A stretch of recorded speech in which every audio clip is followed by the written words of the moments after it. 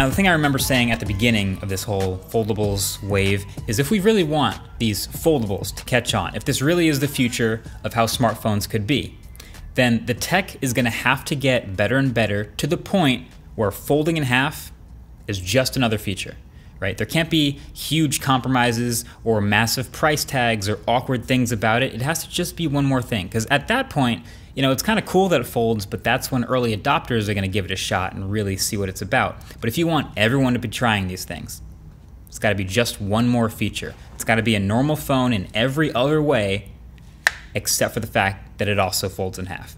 That's when it gets interesting. So with this phone, the Z Flip 3, the ambition is still pretty simple. Give us a regular phone for regular use, and then let us fold it shut into a sort of smaller form factor, kind of like a throwback to the flip phones of yesteryear.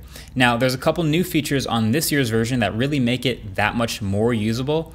It doesn't change a ton, but there are a few key things that make a big difference. So in my order of importance, it would be the new refresh design, which is pretty sweet, the much improved build quality, and the bigger, much more usable outside cover screen. So the new design is pretty sweet. It reminds me of the classic Panda Pixel 2, which was one of my favorite phone designs ever, but it also looks and feels more refined too. They squared up those sides, you know, they've shifted, obviously you can see, to a two-tone look, and there's some new colors. This cream color has gotten a lot of love, but there's also a pretty sweet green, and yes, it does come in matte black if you're into that. Or you can just grab an icon skin from the link in the description and make it look even more sick.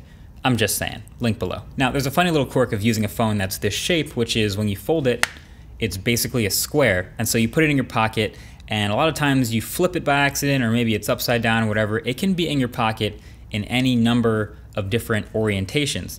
And so when you pull it out of your pocket, there's this brief moment where you have to figure out where you're at, figure out what's right side up.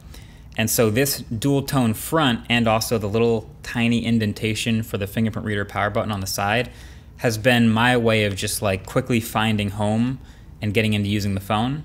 And so I kind of, it's, it's got a little utility. I like that. And I really like that they found a lot of other subtle little things to improve about the build quality too. The flat sides, like I said, really nice, but also this hinge is even more sturdy and will hold almost any angle you want until it's nearly shut, which is when the magnets take over and give this satisfying that clap when it slaps shut.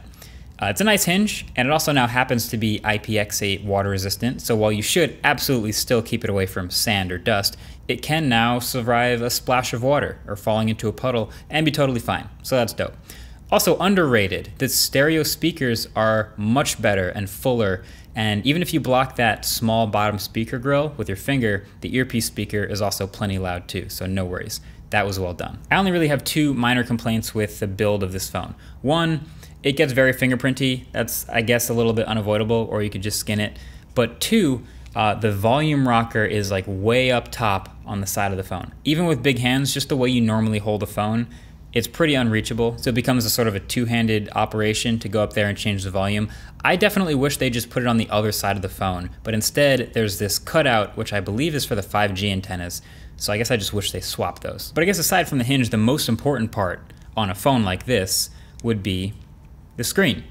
And so there's really only one ambition of a phone like this, which is to unfold into a normal phone experience. And so this, what you get here, is a pretty big display unfolded. It's almost S21 Ultra sized, so it's a 6.7 inch, 22 by 9, 1080p bright OLED display with a hole punch cutout and it's 120 hertz finally. So this was my biggest ask from the last version.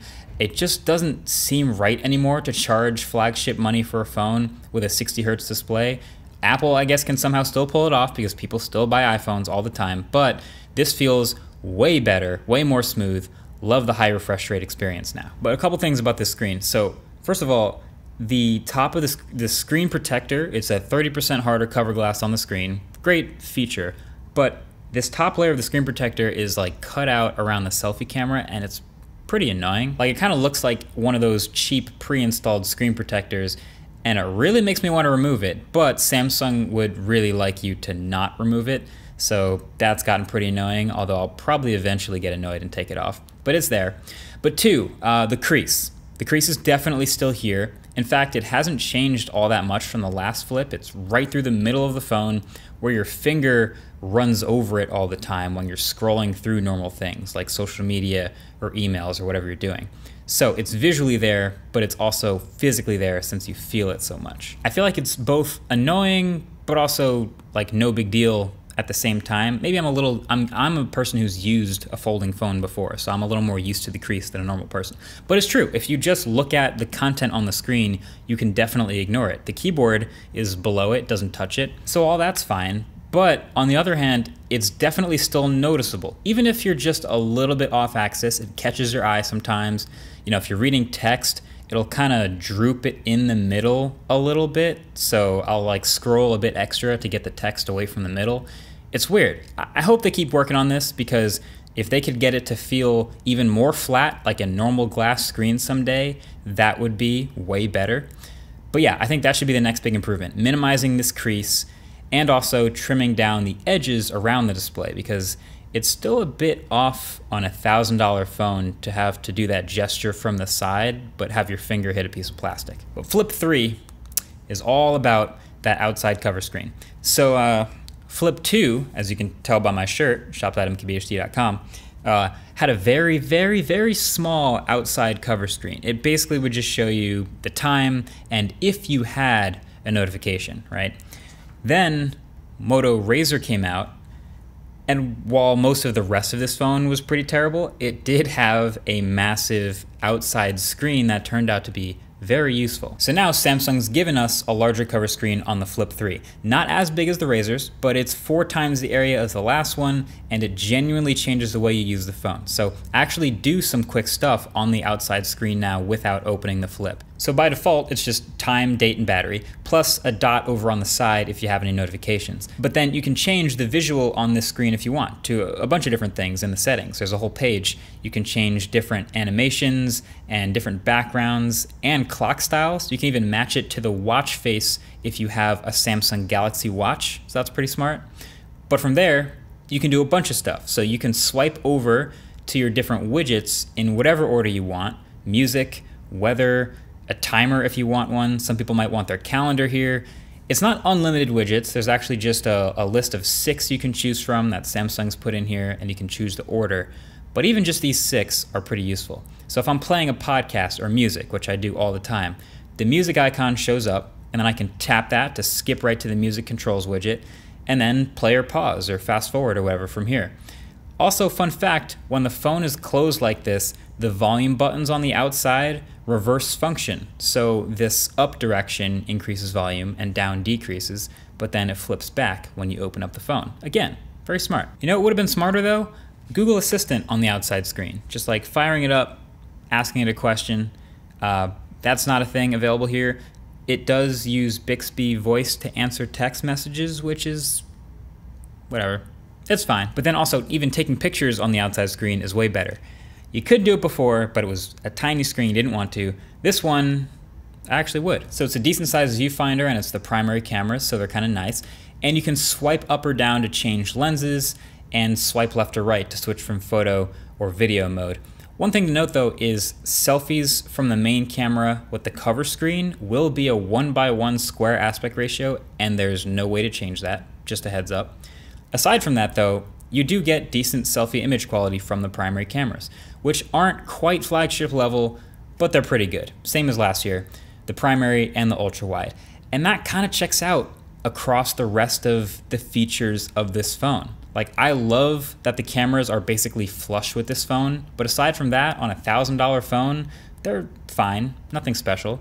The battery life, again, you know, this is a 3300 milliamp hour battery split between the top and the bottom and it's powering a huge 120 hertz display. So it did better than expected, but when it taps out after four hours of screen on time, that's just fine. Nothing special. Call quality, again, fine. Heat dispersion only really warms up when wireless charging on the rare wireless charger that actually fits a phone this size. But again, it's fine. And on a phone like this, it might sound like I'm, I'm like disappointed. I'm saying, oh, it's fine. It's fine. But really, that's kind of an accomplishment. On a phone that screen folds in half, like that's kind of amazing. We are looking to eventually get down to the point where there's no major compromises or major shortcomings, and it delivers on the one promise of being able to fold your phone down into something that's theoretically a bit more pocketable for people with smaller pockets or for ladies with purses and things like that. And it does it. So it's not super flashy or head turning. It's not even as ambitious as the Fold 3, which is trying to give you a normal smartphone and a tablet in your pocket, which is a lot.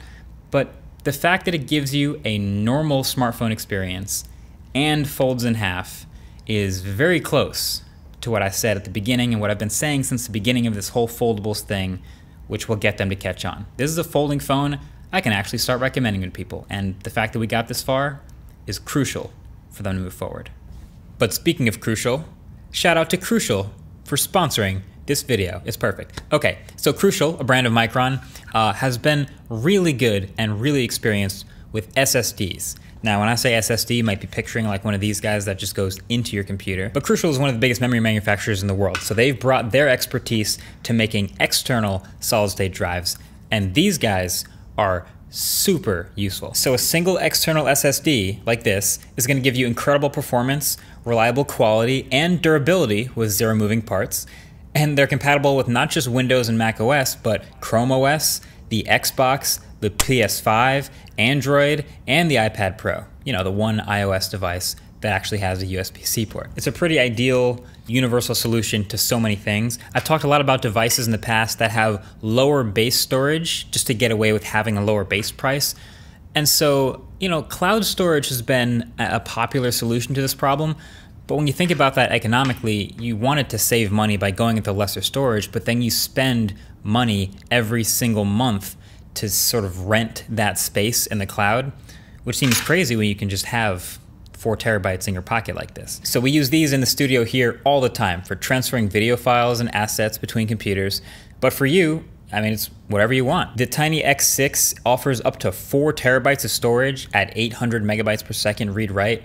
Or if you're like me and you just need the speed, you can get the Crucial X8 and that'll do 1050 megabytes per second for up to two terabytes of storage. So future proof yourself. Grab a Crucial SSD. I'll have the link below if you want to check out the X6 or the X8. And of course, uh, I have the X8 if you care. That's the one I carry with me all the time in my backpack. But that's pretty much it. Thanks for watching. And I'll catch you guys in the next one. Peace.